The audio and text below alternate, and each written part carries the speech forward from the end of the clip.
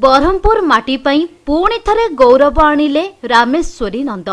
ରାମେଶ୍ୱରୀ ଚଳିତ ବର୍ଷ Mumbai global India two thousand twenty ସୁନ୍ଦରୀ ପ୍ରତିଯୋଗିତାରେ ଭାଗ ନେଇଥିଲେ ଚଳିତ ସିଜନରେ ଦେଶର ବିଭିନ୍ନ ପ୍ରାନ୍ତରୁ ତିରିଶରୁ ଅଧିକା ସୁନ୍ଦରୀ ଭିନ୍ନ ଭିନ୍ନ ବିଭାଗରେ ଚୟନରେ ସ୍ୱୀକୃତି ପାଇଥିବା ବେଳେ ଗତ ତେର ତାରିଖ ଦିନ ରାମେଶ୍ୱରୀ ଫାଇନାଲିଷ୍ଟ ଭାବେ ଓଡ଼ିଶାରୁ ମୁମ୍ବାଇ ଗସ୍ତ କରି ପହଞ୍ଚିଥିଲେ ତାଜ ହୋଟେଲରେ ସେଠି ଆୟୋଜିତ ଏହି ଜାତୀୟ ସ୍ତରୀୟ ପ୍ରତିଯୋଗିତାରେ ସେ ଓଡ଼ିଶାକୁ ସେଠି ପ୍ରତିନିଧିତ୍ୱ କରିଥିଲେ ସମସ୍ତ ବିଭାଗରେ ନିଜର ପାରଦର୍ଶିତା ପ୍ରଦର୍ଶନ କରିକି ଏହି ପ୍ରତିଯୋଗିତାରେ ଶ୍ରେଷ୍ଠ ପୁରସ୍କାର ସହିତ ବ୍ରାଣ୍ଡ ଆମ୍ବାସଡର ମୁକୁଟ ସହ ଟ୍ରଫିକୁ ହାତେଇ ନେଇଥିଲେ।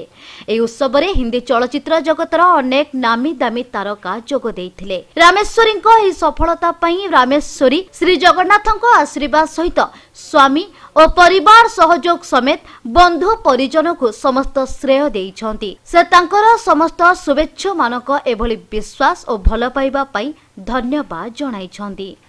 ବ୍ରହ୍ମପୁରରୁ ଅଶେଷ କୁମାର ପାତ୍ରଙ୍କ ରିପୋର୍ଟ।